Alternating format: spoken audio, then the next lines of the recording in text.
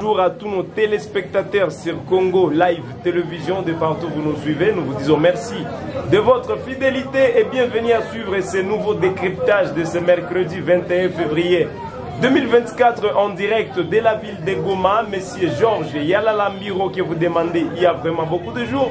Le voici notre invité du jour sur Congo Live Télévision. Monsieur Georges, bienvenue et encore une fois de plus, bonjour. Oui, bonjour David et bonjour tous les Congolais. Bonjour les, les amis de SAC. Bonjour les amis de Chacha. Bonjour les frères de Minova. Bonjour les frères de Washington. Bonjour les Congolais de, de- de l'Afrique du Sud. Bonjour les Congolais de, de- de Goma. Bonjour les Congolais de, du Nord Kivu, de Beni, de Butembo, de Bukavu, d'Uvira, de Kalemi, de Lubumbashi, de Kinshasa, de Mbujimayi, de Kalanga, de Chikapa, de Mweneditu. Bonjour les amis de, de, de, Lodja, de Losambu, de Lumumbaville. Je ne vous oublie pas aussi à Sangourou là-bas, je vous vois. Je vois les Congolais de la Belgique. Mon ami Jean-Pierre Kang, bonjour. Bonjour mon ami Christian à New York. Bonjour mon ami Jonas. Je vous vois, vous êtes à Atlanta là-bas. Déjà, ceux qui sont en train de nous suivre sur Congo Live Télévision, qui l'ont demandé depuis longtemps où se trouvait Messier Georges, le voici notre invité où on va parler de plusieurs sujets d'actualité. On va parler de la sécurité à ce qui concerne l'Est de la République. Mais pour commencer, Messier Georges, tout c'est lui qui qualifie le FRDC comme incompétent dans cette guerre. Quel est le message que vous lui lancez? Il n'est pas congolais. Il est rwandais. Pourquoi pas il n'est pas quelqu'un de la Belgique, il est seulement rwandais Donc il n'est- celui qui n'est pas congolais, il est, il est donc l'ennemi du congolais. Quelqu'un qui peut dire que les FRDC sont incompétents. Quelqu'un qui peut dire que les FRDC sont des scouts. Il est Kagame. Aujourd'hui, si, les FR si le Kagame est en train de, de, de, de, de- pleurnicher, c'est parce que les FRDC sont en train de lui, de lui prouver de quoi ils sont capables. Aujourd'hui, les FRDC seul protège presque tout l'espace, à part, à part le- l'espace qui est occupé par les F-23, mais tout le reste, ce sont les FRDC. Maintenant, pourquoi les dire que ce sont, des incompétents? Vous êtes des mesquins, vous qui dites ça. Les FRDC aujourd'hui, d'abord quelqu'un qui peut dire ça, il est, est-ce qu'il est, il est, il est normal? Qui a déjà été sur les lignes de front, voir comment les cartouches viennent. Et, oh, vous êtes des cartouches et vous avancez vers les cartouches. Oh, vous êtes des bombes et vous avancez vers les bombes. Oh, vous êtes même des, missiles solaires et vous venez toujours vers les missiles. Et puis vous dites que ce sont des, des, des- des vauriens. Vous êtes maudits, malades. Entre faire la guerre et faire des dialogues, vous personnellement, Georges Mbiro Yalala, quel est votre choix entre les deux? Entre la guerre, et les dialogues Quelle est votre position? Plusieurs Congolais estiment qu'il est vraiment important de faire les dialogues David. pour établir la paix à l'est de la République. Daoudi David. Cette question est révolue. Il n'y a plus de dialogue. Le chef d'État vous dira combien de fois qu'il n'y aura pas de dialogue. Même jusqu'au jour d'aujourd'hui, si le peuple congolais est stable, c'est parce que ils ont accompagné le chef d'État dans sa vision. Pas de dialogue avec ces gens. On a déjà dialogué. Ben nous avons fait plusieurs dialogues. Mais cela ne nous a amené à rien. Pourquoi maintenant toujours continuer à dialoguer avec quelqu'un qui n'est pas dialogable si le français existe? On peut continuer à dialoguer avec quelqu'un, avec un sourd. Sinon vous devenez aussi sourd. Kagame c'est comme un sourd. Même si vous dialoguez avec lui aujourd'hui, demain il va encore prendre les mêmes revendications et à demander autre, un autre dialogue. Et par conséquent, le chef de l'État a dit ou bien la paix totale, ou bien la guerre totale. Et il dit, moi je vais amener la paix, mais pas à n'importe quel prix. Et c'est là que nous sommes. Le dialogue est déjà révolu. Laissez le dialogue bon, peut-être euh, euh, aux, aux élèves quand il faut le dialogue en classe. Mais dialogue politique, ça non. Non, ça c'est révolu. Il n'y en aura plus. Pour la première fois, les combats ont commencé non loin de Boueremana dans les territoires de Massissi. Les M23 qui se déplacent chaque fois et ne sont pas stables à un seul endroit. Pourquoi est-ce que les M23 ne sont pas stables à un seul endroit? je venais de contacter un Mouzalin de là qui m'a dit il a de s'adresser à, à Wiringoma. Il dit Wiringoma, tu disais que nous, nous sommes des scouts. Je te dis que tu, vas manquer où aller. Voilà que tu commences maintenant à errer, à errer dans, les petits espaces qui, vous restent. Nous allons vous poursuivre jusqu'à même là où vous irez. Si c'est en Ouganda ou au Rwanda, nous irons vous chercher là-bas. Ça, c'est Mouzalin qui le dit. Et Wiringoma ne dit absolument rien à cette. C'est-à-dire, actuellement, les M23 sont à débandade et sont aux abois. Ils ne savent plus à quelle position se mettre. Toutes les collines, bousculées. Toutes les points stratégiques, même là, les Niragongo, bousculés. Et aujourd'hui, le M23 n'est plus qu'une question de temps. Ils sont bousculés mais ils n'arrivent pas à partir. Pourquoi? Il faut partir. Vous savez, Mais- quand vous partez, on commence d'abord par un pas. Ne croyez pas qu'on part le, le même jour et on va directement évacuer. On part d'une manière graduelle. On part d'une manière, dirais peut-être d'une manière là, avec, avec des étapes. Aujourd'hui, peut-être c'est c'est- c'est- c'est ça que c'est Bweremala, c'est Ngungu, c'est Mushake, c'est Kilolirwe, c'est Kichanga, c'est Mweso, c'est Tongo, Kalengera, Rubare, Ruchurusad, Bunagana. Et il va finir. Mais si tel est le cas, pourquoi est-ce que Rutshuru n'est pas encore libéré jusqu'à présent? Ruchur n'est pas encore libéré. Qu'est-ce qui cloche dans ces coins C'est-à-dire, l'ennemi est arrivé. Vous savez d'abord, quand la guerre commence, elle commence. Mais on ne sait jamais quand est-ce qu'elle doit prendre effet. Si Ruchur n'est pas encore libéré, c'est question de temps. Le moment venu, Ruchur sera libéré. Les amis de Ruchur, vous qui me suivez, mtuchunge pale. Tuko tunakuya na vitesse moya, eh, usicheze. Nous, nous sommes en route. Vous serez libérés très très très bientôt là. Très bientôt là. Croyez-moi, essayez de vous promener vers, euh, vers essayez de vous promener vers, euh, vers, Ma- Mayamoto, vers, euh, vers euh, non, au parc là, vers Rwindi. Essayez d'aller visiter nos, nos, qui sont à Rwindi. Ils vous disent que question de temps. Essayez d'aller même vers euh, Ami de Kiwanja. Essayez d'aller vers, vers Ngwenda là-bas. Ngwenda, Kinyandoni, Kiseguru. Allez voir nos éléments. Ils sont les, très. les- les M23, Wako les, tayari. les M23, Question de siffler. les M23 sont déjà disponibles dans, dans les Nyanzale. Qui Non, non, non, non, non, non. Ce n'est pas encore. C'est pas les M23 Non, non. Le M23 a d'ailleurs été chassé à Katiru, là où ils, a- ils avaient conduit la fois passée. Katiru, c'est avant de, de- de revenir sur Mweso. C'est-à-dire, Katiru est au milieu entre Nyanzale et Mweso. Ici au milieu. Alors, les M23 ne peuvent même plus franchir, même. Quand vous dites Nyanzale, c'est très loin. Même arriver à Kashuga, ce ne peuvent pas. Ils sont en train d'être chassés vers Mongozi. Ils vont fuir. Ils sont des C'est lui qui connaît tous ces lieux-là. Il est en train de me comprendre. ils sont des fois chassés et des fois ils reconquisent encore le parti où ils ont pris. Cela est dit à quoi? plus le. Les FRDC, qu'est-ce qu'ils perdent ce des n'est ce plus le moment. Ce n'est plus le moment. Cela n'existe plus. Ce n'est plus le moment. Mais à ne pas aussi oublier, ce n'est pas quelque chose à se voiler la face. Dans nos FRDC, il y avait aussi des brebis galaises. Ah, des moutons de panurge, des brebis qui ne faisaient n'importe quoi. Et cela servait de béquille pour le M23. Vous savez, on a toujours dit que le traître est plus, plus, plus mauvais, plus mordant que l'ennemi. Parce que le traître, lui, il peut facilement, donc, il peut facilement faire chemin à l'ennemi. C'est pourquoi le traître est celui à combattre d'abord le premier.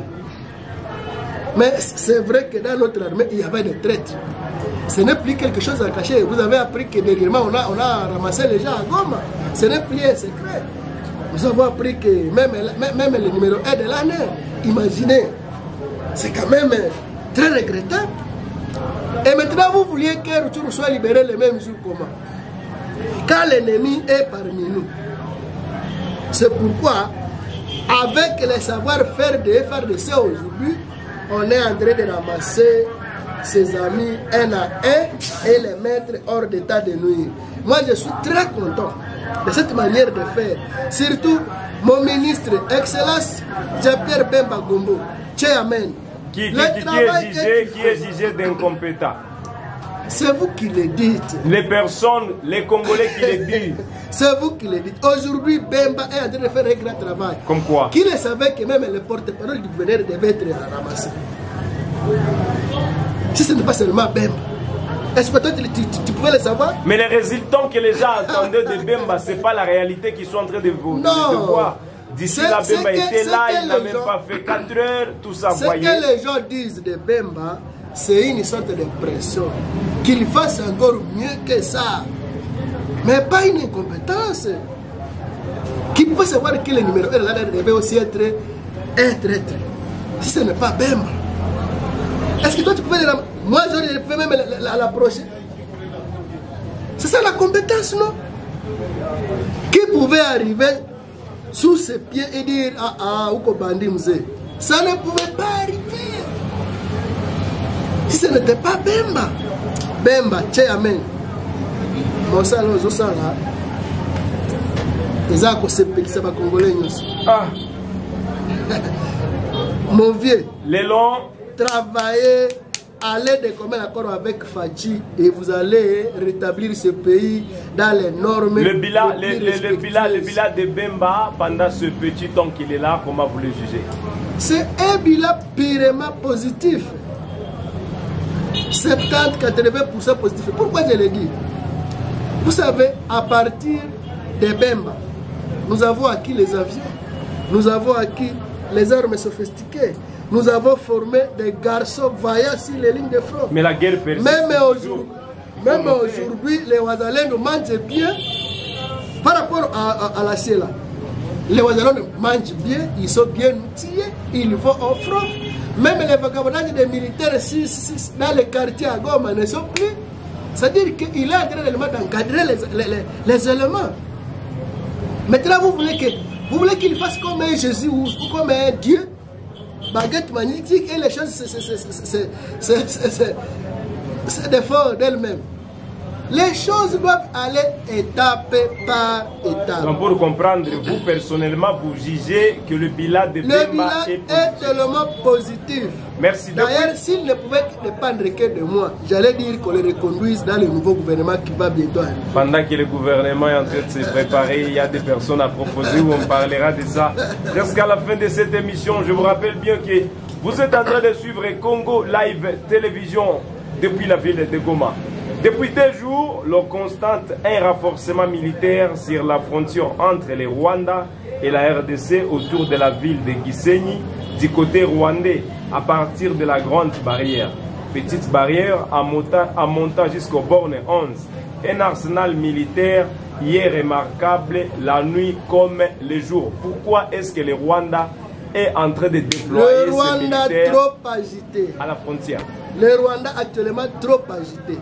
Tantôt, oh, Tshisekedi veut, veut, veut risquer changer le pouvoir au Rwanda. Oh, tantôt Tshisekedi est en train de sécuriser mon pays. Oh, tantôt non, la guerre. Oh, tantôt le Burundi. Donc, le Rwanda actuellement est en train Qui sait que tu vivre- veux renverser Kagame de vivre la paix au ventre. Et Fatih l'a- l'avait dit. Fatih l'a dit. Lui-même l'a dit, Fatih. Il a dit ceci. kosakana na ngai te nga faci beto. Kagame na bino wana nakobenga na ye. Ngai fati nde moto nakobenga na ye. Croye moi. Cestadire faci est celui qui va réellement changer le pouvoir au Rwanda. Pourquoi moi je le dis? De la manière dont le, le Rwanda nous a traités tout ce temps-là, le Rwanda, avec le régime Kagame, n'est plus capable de créer des relations de confiance avec la RDC. Et de ce fait, nous, nous, remarquons que déjà au Rwanda, il n'y a plus de, régime qui peut alors nous être utile. Parce que Kagame est inchangeable. Même si vous dites à Kagame, vous, êtes habillé en bleu, il moi je suis habillé en noir. Même si vous dites, Kagame, il y a des problèmes, il vous dit, il n'y a pas de problème. Est-ce que réellement au Rwanda, il n'y a pas de problème? Il y a des sérieux problèmes. Mais pour lui, il n'y a rien, tout va bien. Est-ce que réellement tout va bien au Rwanda?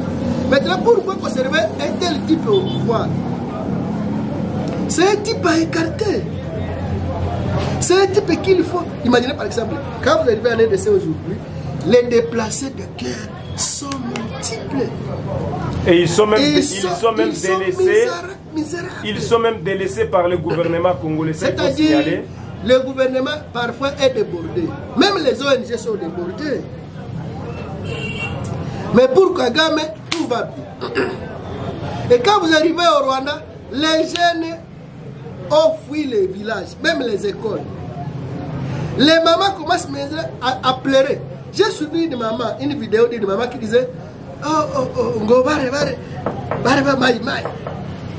Si, je vais parler maintenant en français. Si, si une fois j'arrivais au Congo, j'allais d'abord aller prendre le sida au Kenya et je viendrais les donner au, au Maïmaï, au, au, au Wazalendo, parce qu'ils ne meurent pas par les balles, comme ça ils vont mourir par le sida.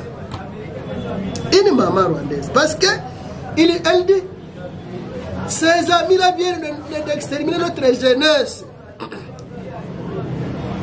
Au lieu de dire que Kagame est a envoyé nos enfants au mouroir en RDC, lui, elle s'adresse maintenant à qui? Au Wazalem. Est-ce que les Wazalem ont des problèmes avec cette maman-là? Est-ce que nous, avons déjà évité les, jeunes Rwandais de venir au Congo pour qu'ils soient, soient tués ici au Congo? Kagame lui-même, les mamans là, tout le peuple rwandais disent Kagame. Na manière tuliteka hii hii- hii shetani ni nani? Si kufi hata. Hein? C'est-à-dire, vraiment, c'est grave, mes chers frères. Pour une énième fois, la France appelle euh, le Rwanda à laisser de soutenir les rebelles du M23 et à faire les hostilités sur le sol congolais. Est-ce que cela peut mener, les, peut mener les Congolais à faire confiance aux Français? À la France plutôt. Ça, c'est déjà entendu. Ça ne fait pas la première fois que la France émet de telles déclarations. Même les États-Unis ont presque répété la même chose. Est-ce que c'est la première fois? C'est chaque fois qu'il faut ça. Moi, personnellement, j'ai mis encore des doutes. La solution des Congolais est entre les mains des Congolais avec ses alliés et ses amis mais pas dans les déclarations des États-Unis, des Nations Unies, là où on ne fait que déclarer ça, passer à l'acte. J'ai suivi, j'ai suivi Maman Bindou Keïta. Oh, les hein, nous, nous ne coopérons même pas avec les, avec les, les, les, les M23. Mais elle est là, ça fait 25 ans. Et nous, pendant toutes ces années-là, nous sommes en guerre et on nous dit chaque jour. Si vous faites la moyenne des, gens qui meurent en RDC par jour, ça peut vous étonner. Et maintenant, Ebin Keïta qui dit ça, si elle le dit, n'est-ce pas qu'elle doit passer à l'acte Qu'elle passe à l'acte et qu'on voit que réellement Kagame a retiré ses éléments. Mais décla- disons déclarer, ça ne suffit pas. Est-ce que ces déclarations que les États-Unis sont en train de faire n'ont pas de fait sur Kagame Parce qu'on parle, on parle et on parle, mais Kagame s'en fout. Kagame ne réagit rien. Qu'est-ce qu'on peut noter dans tout ça? D'a- D'abord, en politique, il y a ce qu'on appelle l'attitude politique. À cause de l'attitude seulement, on peut déjà juger votre, votre lendemain. Ah, David aujourd'hui, il est vêtu à blanc. Hein, C'est-à-dire qu'il veut la paix. Ah, ah aujourd'hui, Kagame, on lui demande de retirer ses amis, mais elle dit, moi, ça ne me concerne pas. C'est-à-dire qu'il n'y a absolument rien. S'il y avait quelque chose, Kagame allait dire, donnez-moi maintenant le temps de retirer ces éléments, peut-être une semaine. Mais, c'est ça, cela n'a pas été. Si même, même, même par l'ambassadeur du Rwanda aux, aux Nations Unies, il n'a même pas dit ça. Pour vous dire que ce qu'ils disent, ce qu'ils déclarent, ça n'engage que eux. Nous, nous sommes en guerre. Et nous allons libérer notre pays et instaurer la paix, mais pas à n'importe quel prix. Soit au prix de notre sacrifice, au prix de notre sang, de mon sang, de ton sang, de ça des Congolais. Nous allons libérer et parvenir à instaurer la paix la plus durable. Et on va finir euh, par un mot pour le président de la République euh, quelques jours avant la sortie euh, du gouvernement nouveau où nous sommes en train d'observer. D'autres ministres sont en train de déposer, sont en train de démissionner.